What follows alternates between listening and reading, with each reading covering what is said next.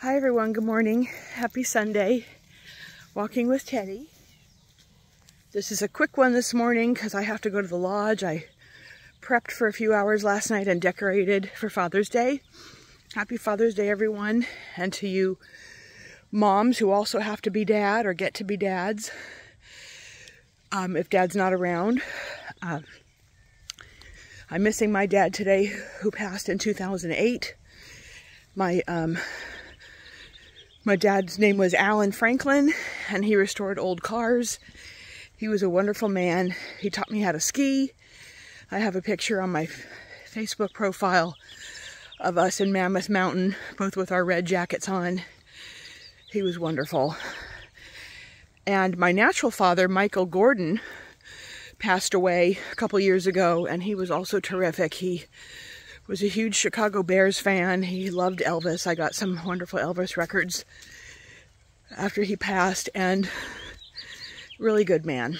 So I just wanted to, I have makeup on at quarter to eight in the morning and we're just going on a quick walk. Hope everybody has a wonderful Father's Day, whatever you decide to do. Um, I'm going to do a Father's Day brunch and I prepped last night with my friend Dee we, we prepped an egg, bacon, and ham casserole. And we prepped a casserole called Monterey Fondue, which is jalapenos, mild ones. I mean, sorry, green chilies, mild green chilies, corn, jack cheese, egg, and bread. And I'm excited about that. I'm going to make a coffee cake when I get there, a cinnamon, blueberry,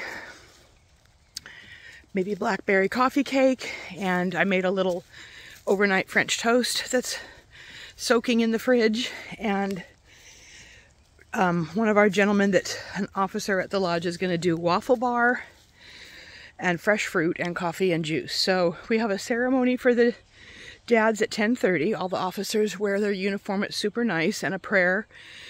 And then breakfast is at 10.30. So I'm very excited about this. I feel ready that I'm all prepped and the room's decorated real cute and stuff. So I'll post pictures later, but it was just a joy to do this. And I did it last year too. It came out great.